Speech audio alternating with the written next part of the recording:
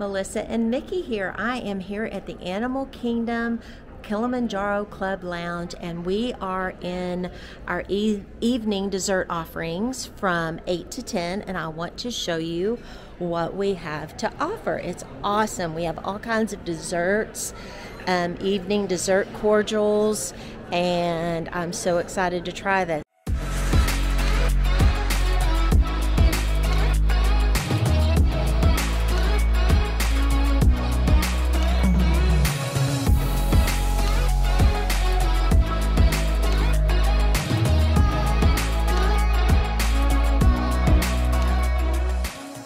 So let's look at our cast member here. She's putting out, what do you have there? Vanilla cake cones? cones. So they have um, like a vanilla custard inside, and these ones have a lemon custard inside. Ooh, vanilla and lemon custard. Look at that. Some of my favorites. It is. Oh, and they're so cute. I know, aren't they? Ah, thank you. Enjoy. Absolutely.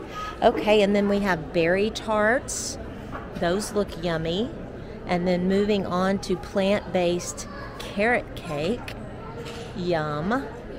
And then we have chocolate chip cookies and Uncrustables. Let me tell you, my kids love these. They take them into the park.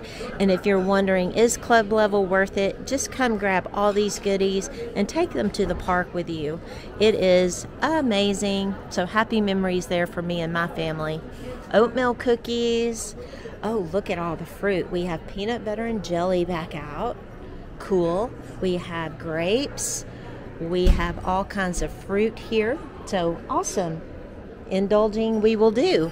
Now, along with our nighttime indulgence desserts, we also have the uh, Nespresso machine that's here all the time, and then we have our uh, syrups for our coffee, and we have our um, let's see, we have our sugar, we have our sweet and low, we have tea, all those good things. And then we have our coffee, decaf and regular.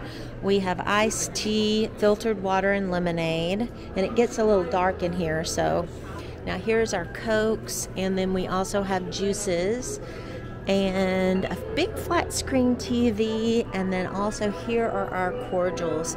So we have cream liqueur, we have Frangelica, Grand Marnier, and Kahlua. Now, I also I'm a wine drinker, so I was asking the cast member, "Hey, can I have some wine?" So beer and wine is available all the time. No worries. Here are our guests enjoying the um, indulgences um, from 8 to 10 at night after they get back from the park.